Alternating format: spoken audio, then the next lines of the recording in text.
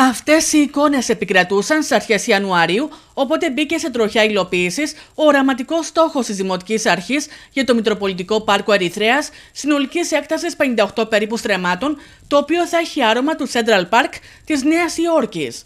Επτά μήνες μετά, οι εργασίες στα πρώτα 15 στρέμματα του έργου προχωρούν με τατικού ρυθμούς, με τα εντυπωσιακά αποτελέσματα να είναι ορατά προς το τέλος του χρόνου, όπως εκτιμά ο Αντιδήμαρχος. Ένα από τα έργα για τα οποία είχαμε επενδύσει πάρα πολύ, με μεγάλη προσπάθεια και εκκρεμούσε σχεδόν 20 χρόνια, είναι αυτό της υλοποίησης του Μητροπολιτικού Πάρκου Ερυθρέας. Θυμίζω ότι το έχουμε χωρίσει σε τρία διαφορετικά τμήματα.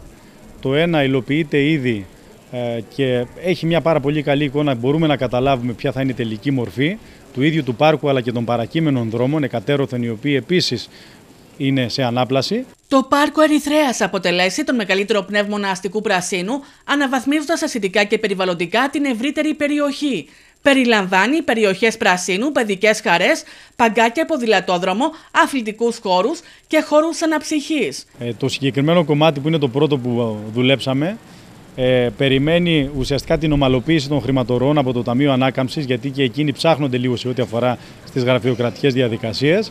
Τώρα είναι ευδιάκριτο το ότι το μεσαίο κομμάτι, το παλιό ρέμα διαμορφώνεται με ποδηλατόδρομους, με πάρα πολύ φύτευση, με καθιστικά και σημεία συνάντησης, με αναψυκτήρια και παιδικές χαρές και γίνεται και η διαμόρφωση των δρόμων εκατέρωθεν με πεζοδρόμια ικανών προδιαγραφών, με νέα φωτιστικά σώματα. Εγώ θα ήλπιζα μέχρι το τέλος του χρόνου να έχουμε παραδώσει σε χρήση ένα σημαντικό κομμάτι του πάρκου Ερυθρέας, αυτό που υλοποιούμε τώρα. Όπως εκτιμάται, μέχρι το φθινόπωρο θα υπογραφεί η σύμβαση και το μεγαλύτερο κομμάτι του έργου.